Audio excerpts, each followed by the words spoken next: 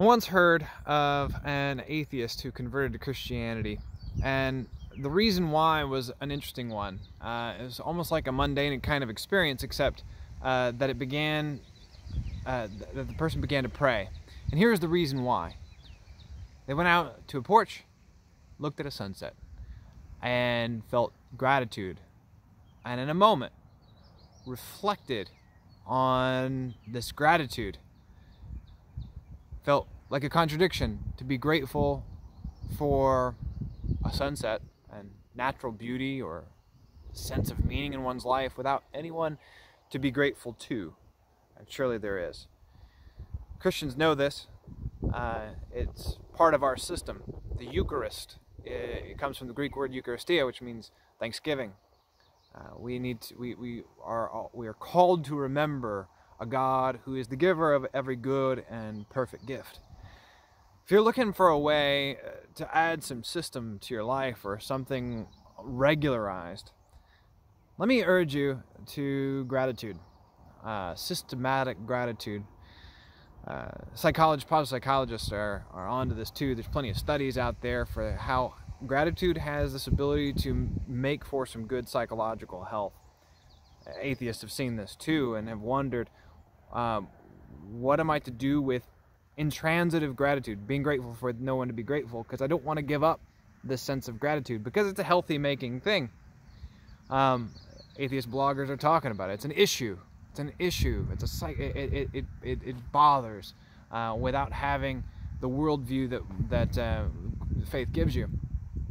But having that in mind, um, the and even if you didn't, uh, like it, say sometimes in psychology they'll say, hey, you know, you should take some more time, take some time every day, write three things you're grateful to for at the end of the day, or write a letter to someone of gratitude, write more thank you notes, uh, all good things.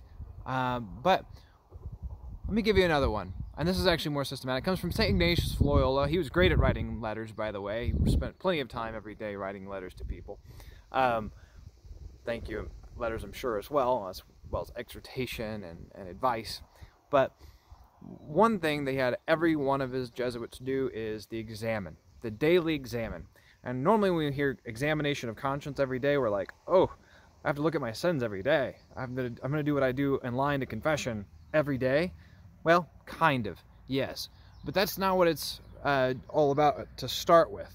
Uh, it actually naturally flows from beginning with gratitude. You begin not looking at God as a judge, uh, taking account of your sins. You start with God as the giver of every good and perfect gift.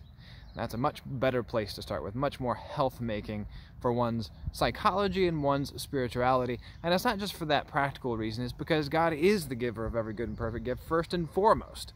Uh, Pseudo Dionysius says that the good is diffusive of itself, this fruitfulness.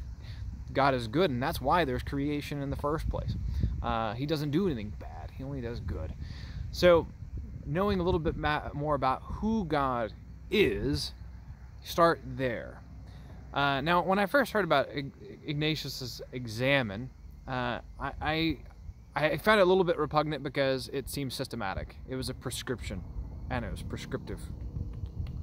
But slowly I began to find that it was actually descriptive. Uh, but it wasn't through actually trying to do the examen. I came back to it. I came back to it after an experience I had in marriage. My wife, uh, with, with my wife, I, I, we, we decided to add this practice. We got into a place where we are really critical of each other uh, where we are saying, you know, it was always, what have you done for me lately? And it, and it happened very unconsciously and it very quickly made the days sour. And so we looked at this and kind of reflected on it and said, we got to, we got to change the game a little bit. And literally overnight, we were able to kind of like start shifting this. And, and the reason why is because we started with gratitude. We said, at the end of the day, we're going to look back at the day and we're going to look and say, what am I grateful to you for what you did to contribute to our union, to our relationship. Not what have you done for me lately, what have you done for us lately, which also included, let's say, like changing diapers and things like that. Um, and we would be surprised about the things that that the other person was thanking us for. Uh, it might have even been something that we thought that we had upset them about that they were thanking thanking us for. So it added new a new line of communication, which is good from a um, purely human standpoint. But here's what's remarkable: So when you started with gratitude, you'd find that there were some times where, say, I would say, I'm thankful to you for this and this and this and this and this, and then turn to her and she'd be like, Well, I can't think of anything. Help me remember what I should be grateful to you about. And maybe I could think of something. Hey, I kind of did this. Oh yeah, thank you for that. Yeah, no, that that I was thankful for that. But sometimes it was I can't think of anything either. How could I have done better today? Because um, you should be able to thank me for something, and I can't think of anything either. And it became an examination of conscience. It became a place where uh, I had a, I, I got new information to make a resolution for how I was going to be better in this relationship the next day. And it all began with gratitude. Now, we both had things to be sorry for, we had, both had resolutions to make. But as soon as you turn to that vertical relationship, that access toward God, you know that He doesn't have anything to be sorry for, and He doesn't need to make resolutions for tomorrow but we do.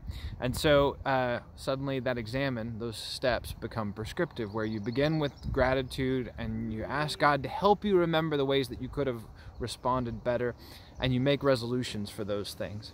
Uh, so I, I, greatly urge you, uh, and myself, in, fact, that especially in times as these, when um, we've had kind of the etch a sketch of our life shaken up a bit, if you're going to find some system and and something that you would place every day um, maybe the examen would be a good place to start uh, at maybe toward the end of the day or right before dinner after dinner you take a walk something and examine. What are the things you're grateful to god for? And what are the ways that you might have been able to respond to him better and make some resolutions and ask for his grace